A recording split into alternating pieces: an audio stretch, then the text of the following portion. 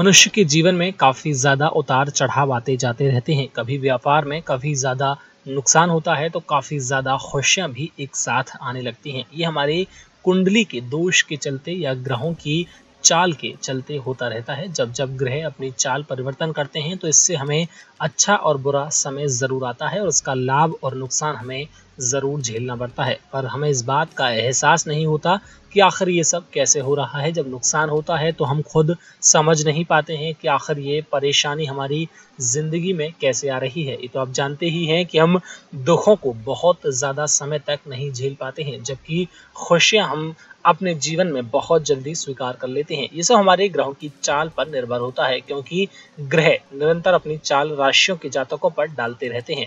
आपको बता दें ज्योतिष शास्त्र की ज्ञाता बता रही हैं कि पूरे तीन महीने तक माता लक्ष्मी आशीर्वाद के तौर पर इन दो राशियों को अपना देने वाली हैं और इनकी ज़िंदगी पूरी तरह से बदलने वाली है और इनको लाभ भी ज़रूर होने वाला है और इनके ज़िंदगी का हर लम्हा आसान होता हुआ नज़र आएगा। इनका उद्धार भी ज़रूर होगा। तो आइए जानते हैं और बताते हैं आखिर कौन सी हैं वो दो राशियाँ।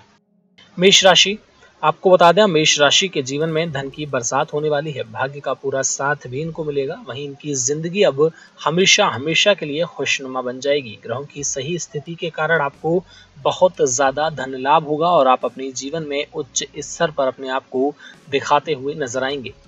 मीन राशि, आपको बता दें, पूरे तीन महीने तक मीन राशि का कल्याण होने से कोई भी नहीं रोक सकता है। माँ लक्ष्मी की कृपा भी इनको बहुत ज़्यादा होगी।